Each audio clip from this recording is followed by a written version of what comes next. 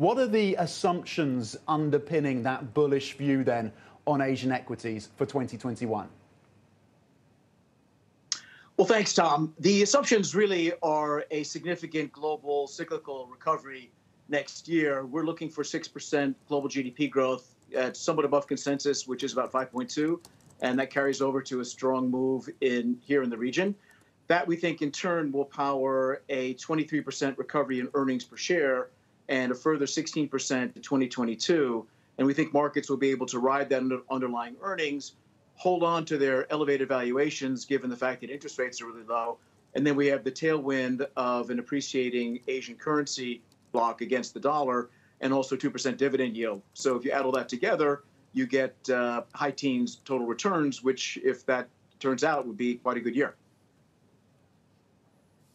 It, it, certainly would. Now, in terms of vaccine developments, are they potentially less of a catalyst for this part of the world than they would be in Europe and the US?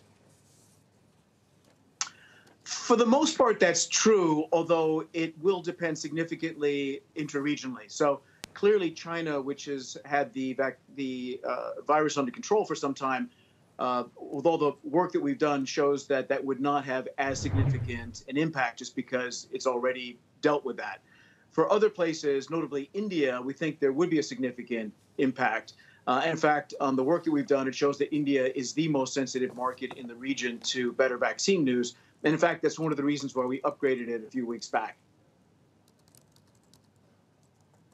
Right. Tim, tell us a little bit more about that. David here, by the way. Good morning. So, Nifty, your target morning, is, let me just look at your report here, 14,100. I think we're about 12.8 right now. So that takes us about, what is that? About 9 9%, roughly speaking, into next year. Uh, how did you come up with a number? And is there a specific multiple you're attaching to the price on the Nifty? Because it looks kind of expensive right now.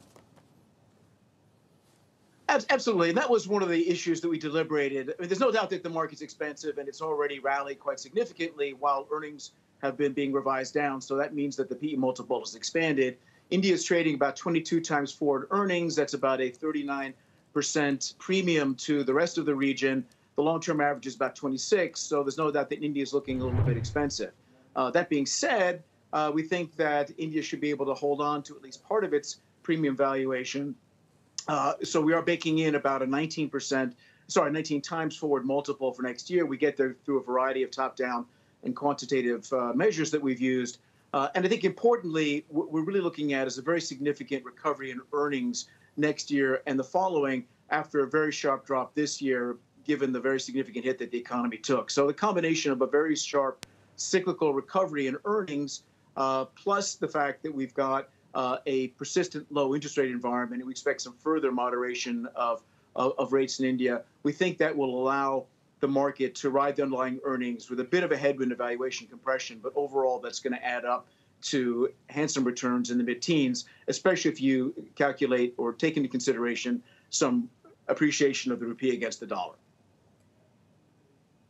Tim, I'm sure you've also gotten this question from, from, from, clients here. This recent outperformance of value over, over growth, do you think that's something that can and will continue? What's something that might support or undermine that trend, if you do think it can continue?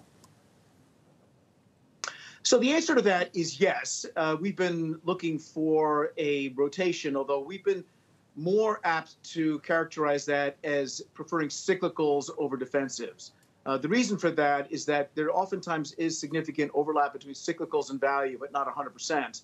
And in the work that we've done episodically, looking at how the market performs when we have macro conditions such as we have or are expecting for next year, specifically a recovery in the, in the global economy and some firming of rates, uh, or at least a, a, slight steepening of the yield curve as the long end of the uh, end of the curve starts to look out and anticipate some inflation pressure.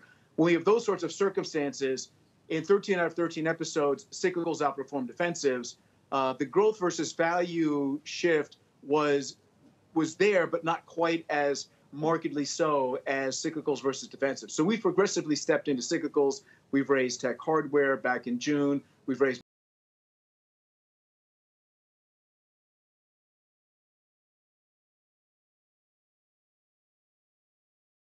or value space we prefer more the industrial ones than the financial ones. Uh, the reason being, of course, that industrials will be more immediately responsive to improving global growth, whereas the financials might be impeded by the fact that rates remain lower for longer, and low rates and a flat yield curve typically is not as good for banks as it is for other parts of the market.